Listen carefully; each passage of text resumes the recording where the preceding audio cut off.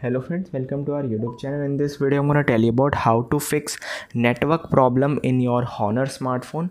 Before watching this video if you have not subscribed to our youtube channel then subscribe to it and like our video.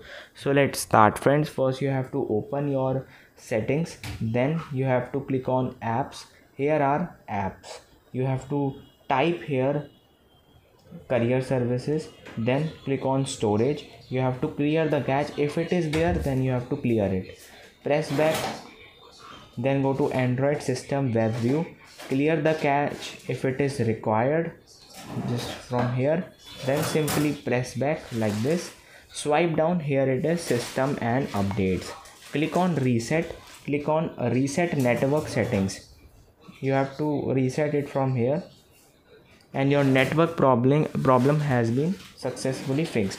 If it is not then you have to restart your mobile. I hope you like this video. If you like this video then subscribe to our youtube channel for more helpful tips and tricks videos. See you next time